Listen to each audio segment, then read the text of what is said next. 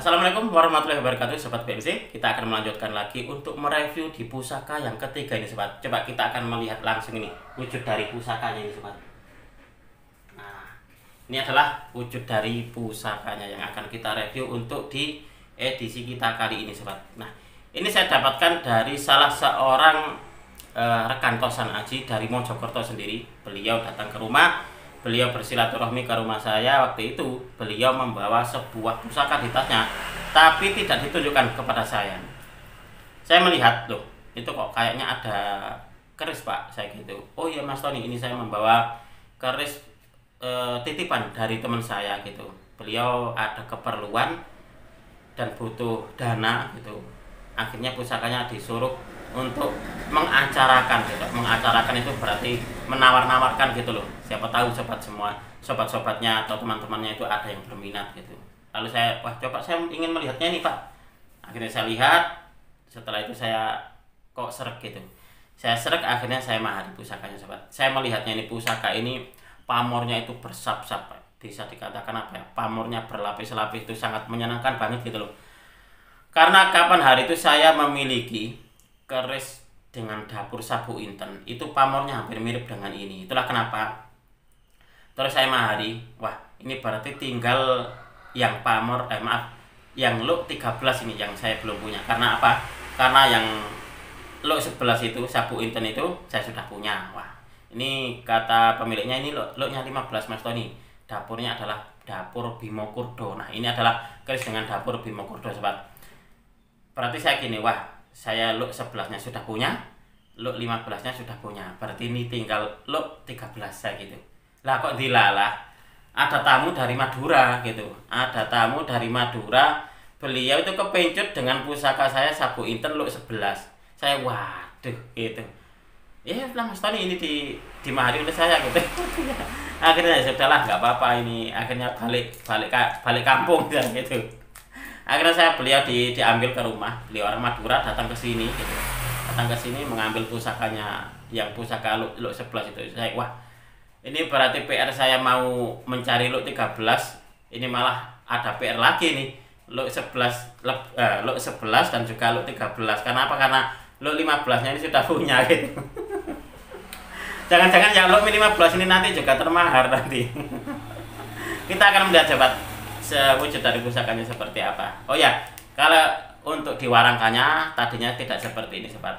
Kalau sudah glowing seperti ini ini tandanya sudah saya serviskan di tukang saya. Nah seperti ini.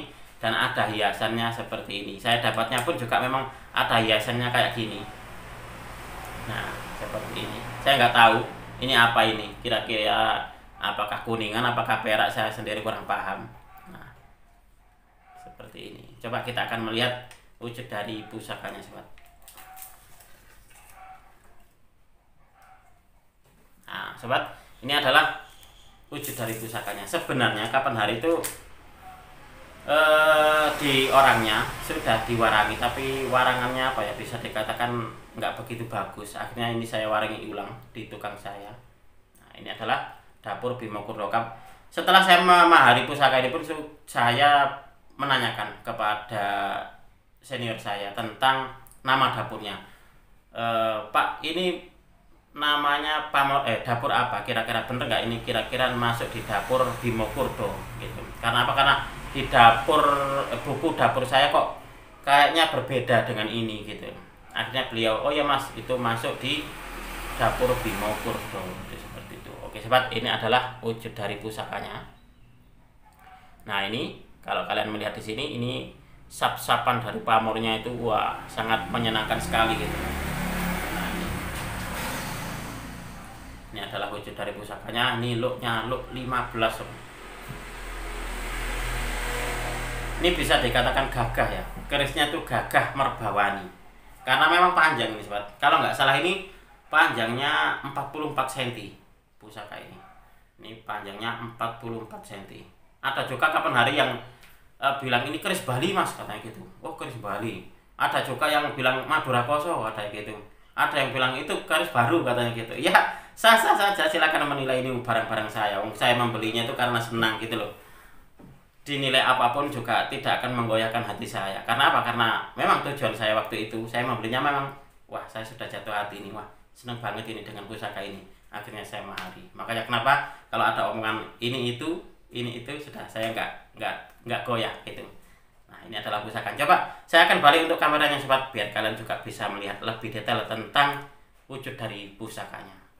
Oke sobat BMC kita akan melanjutkan untuk mereviewnya. Nah seperti biasanya saya ajak kalian untuk melihat dulu dari warangkanya ini. Wujud dari keindahan warangkanya. Dan kalau untuk ini kemungkinan adalah kayu timuho mungkin sobat ya. Nah seperti ini. Dan ini peletnya pelet beneran gitu Bukan sepidolan Karena kalau kalian melihat di sini Ini kan tembus ini kayunya ini Nah seperti ini Nah ini bisa jadi kuningan yang di sepuh perak mungkin seperti itu. Nah seperti ini sobat. Ini sangat panjang dan juga gagah banget. Coba saya ajak kalian untuk melihat dari pusakanya. Kapan hari itu saya menanyakan tentang maaf saya mencari artikel tentang Bimo Kurdo gitu. Memang tidak begitu ada. Terus saya tanyakan kepada teman-teman gitu pun juga jawabannya juga apa ya bisa dikatakan itu eh, memang untuk dapur Bimo Kurdo ini di dalam artikelnya memang kurang begitu diulas jadi sangat minim sekali tentang informasi dari dapur Bimo Kurdo ini sobat tapi saya kemarin menemukan jadi menemukan sedikit dari informasi tentang dapur Bimo Kurdo nanti akan saya eh, bacakan untuk sobat semuanya. Nah ini yang kapan hari itu? Saya melihatnya waktu itu ini adalah pamornya ini bersap-sap seperti ini sobat. Nah sangat menyenangkan sekali.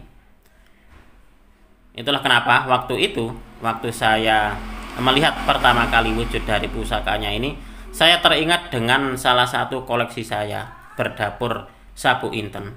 Nah pamornya pun juga seperti ini. Sayangnya gitu sayangnya bukan sayangnya sih sebenarnya. Ya memang mungkin jodoh dengan saya itu sudah sudah habis gitu. Akhirnya dimahari oleh eh, orang Madura. Jadi pusakanya bisa dikatakan bagus estimasinya Madura Koso dan juga diambil oleh orang Madura lagi. Nah ini ini adalah wujud dari pusaka Bimo Kurdo sobat.